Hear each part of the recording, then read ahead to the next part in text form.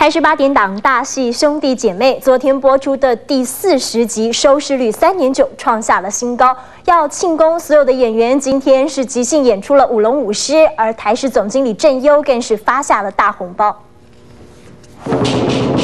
热闹的锣鼓声中，马如风、狄英、秦阳、周又廷、关德辉和周明增兄弟姐妹的主要演员一字排开，一个个眉开眼笑，兴奋的表情溢于言表。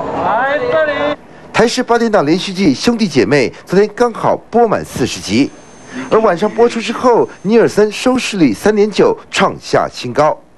台视总经理郑优和剧组的工作人员一起庆功，当场颁发一个大红包，祈勉大家再接再厉。今天的这个剧情哈，也更精彩了哈，所以刚刚大家讲说今天会破四哈，我相信。